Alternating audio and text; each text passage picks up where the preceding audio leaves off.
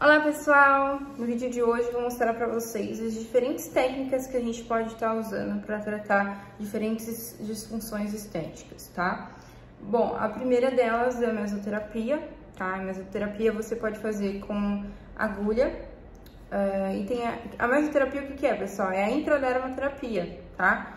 E aí, na, dentro da intradermoterapia, a gente tem o que? Os injetáveis e a pressurizada também, que entrega ativo é, nas camadas mais profundas ele pode atingir derme, derme profunda, hipoderme, depende aí da potência da sua caneta, tá?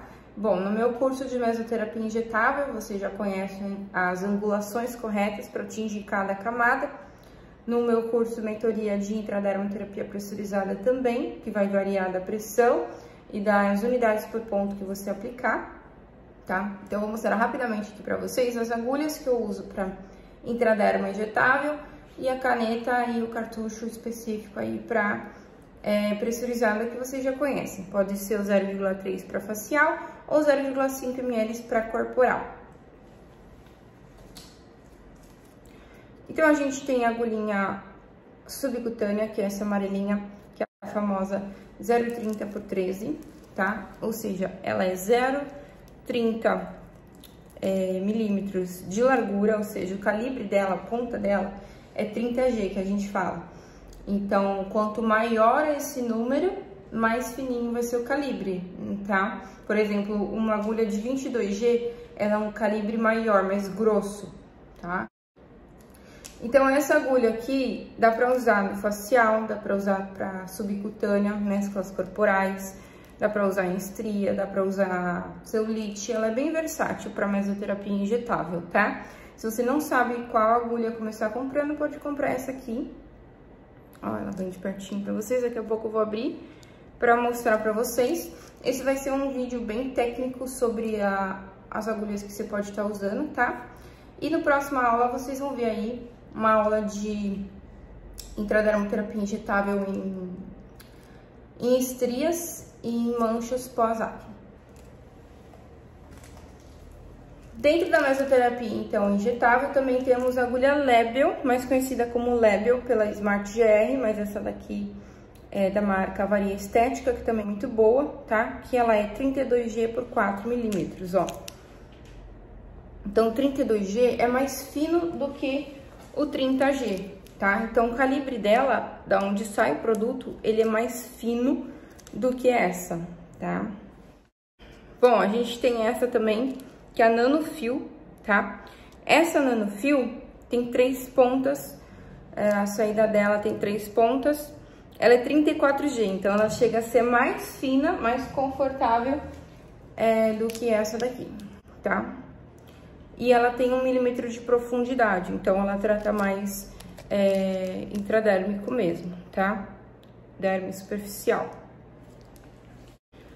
Bom, é, esse vídeo aqui é destinado para você entender a, as agulhas usadas na intradermoterapia injetável, entender que você pode fazer o mesmo procedimento com a pressurizada, tá? Dependendo do, do protocolo aí da disfunção estética, você pode fazer com a pressurizada, mas você também pode usar o microagulhamento, tá?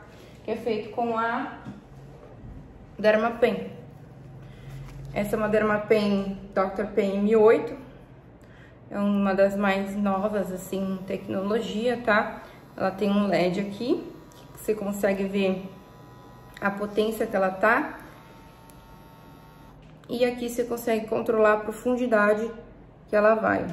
Como todas as outras, ela vai de 0,25, ó, até 2,5 milímetros de profundidade. Então, você consegue tratar epiderme, derme superficial e derme profunda com ela também, tá? Tem gente que se adapta melhor a usar só Dermapen, tá? Que é um tipo aí de, de mesoterapia também. E tem gente que se adapta a usar só injetável ou só pressurizada, tá? Eu gosto de ter todas as técnicas aqui, porque às vezes a pessoa tem medo de agulha, então eu uso a pressurizada. Às vezes a pessoa tem receio também de usar pressurizada, aí dá pra usar o microagulhamento. O microagulhamento também é muito bom pra tratar a epiderme. Vocês vão ver muitos vídeos meus que eu faço a técnica da intradermoterapia, seja com a pressurizada ou com a agulha, tá? E logo depois eu venho no microagulhamento usando o mesmo ativo. Essa é uma das pressurizadas que eu mais gosto, que é da Ecos. Ela tem duas pressões, ou seja, meia pressão aqui, que é mais fraca, e a pressão a 90 graus, que é mais forte.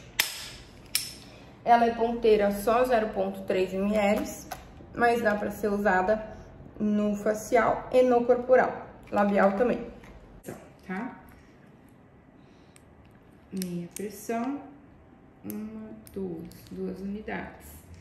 Agora eu vou pressurizar aqui, ó, nessa manchinha. Doze. Dá só uma assustadinha, né? Uhum. seguro um pouquinho e tiro. Vocês veem que não tem retorno de produto, mas tem o um retorninho sanguíneo, quer dizer que permeou, tá? Com a Dermapen você pode usar diferentes tipos de cartuchos, tá? Esse aqui é um nano que eu vou mostrar pra vocês, ó.